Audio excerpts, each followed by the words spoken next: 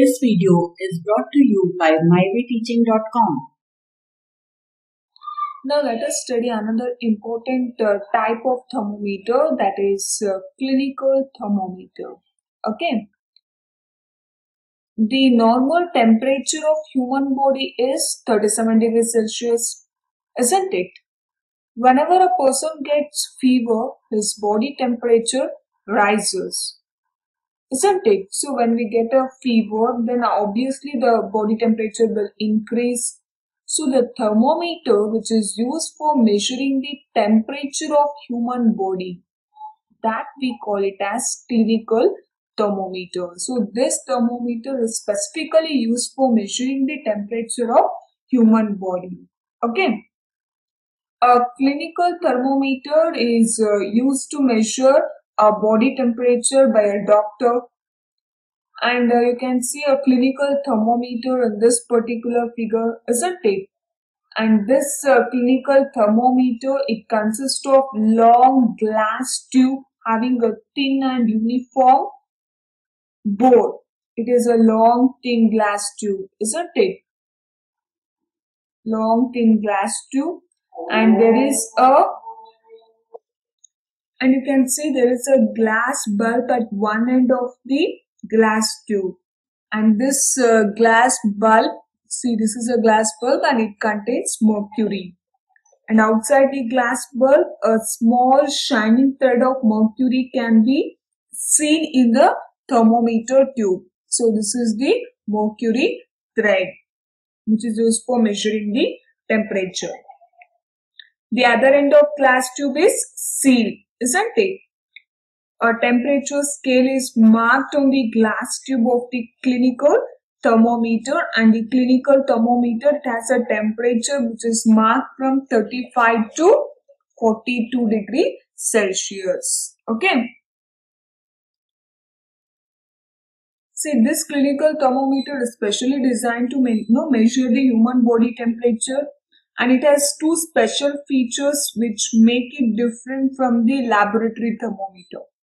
So the first special feature is that a clinical thermometer, it has a very short range of temperature that is from 35 to 42 degrees Celsius. Okay, it, uh, its uh, temperature range is uh, very uh, no short due to the fact that the temperature of human body it normally does not go below 35 or above 42. This is the reason its temperature range is very short. Okay. And the second feature is a clinical thermometer has a kink or we can say a constriction in its glass tube just above the bulb containing mercury. You can see that constriction here. This is a kink or constriction which is there in the clinical thermometer and why? What is the reason for this constriction? See this constriction or the kink it is to prevent the backflow of mercury into the thermometer bulb when the thermometer bulb is removed from the mouth. So usually we you know in order to read the readings we'll take the thermometer out of our mouth. So at that time there is all chance that this mercury can flow back to this uh, thermometer bulb so in order to avoid that, this constriction is made in this particular thermometer. And this kink prevents the mercury level in the thermometer tube from falling on its own. So even when that thermometer bulb is uh, removed from the mouth of a patient, the mercury thread will keep standing at the maximum level reached and due to this we can read the correct body temperature of the patient even after removing the thermometer bulb from the mouth. Okay. For that reason this constriction is made. Okay. See then uh, how to use this uh, clinical thermometer? If you just uh, see you just wash the thermometer properly and if antiseptic solution is uh, not available then wash it with clean water and hold the thermometer tube firmly in your hand and give it a few jerks so that the mercury in the thermometer falls below the reading of 35 degrees Celsius and put that bulb of a thermometer under the tongue of the patient and hold the thermometer tube gently keep the thermometer bulb in the mouth of the patient for about one minute. That's more than enough then take out and read the temperature hold the temperature horizontally in your hand and rotate it slowly. A position will come when you when you will see a magnified image of the mercury thread in its tube. Okay then we can take down the temperature. So now let us see the, some of the precautions in using this uh, clinical thermometer. Okay see the clinical thermometer should be washed before and after use preferably with antiseptic solution. As I just told you now, you just wash it with an antiseptic solution. And before using this clinical thermometer and we should ensure that the mercury level, it must be below 35 degrees Celsius.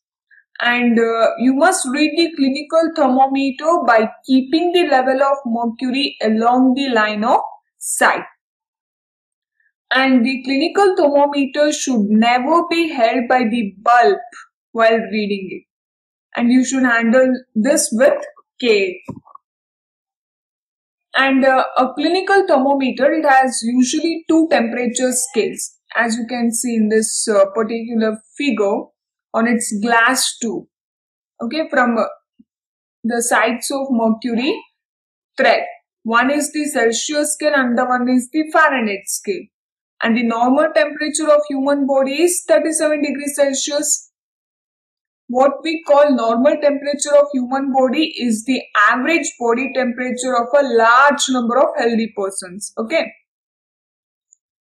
And one more important thing about or point about this is uh, this thermometer we cannot use it to measure high temperature because its range is very small and it has been designed to measure only human body temperature and it and that human body temperature it varies over a very short range of 35 to 42 degree Celsius. So because of this reason we cannot use it to measure high temperatures.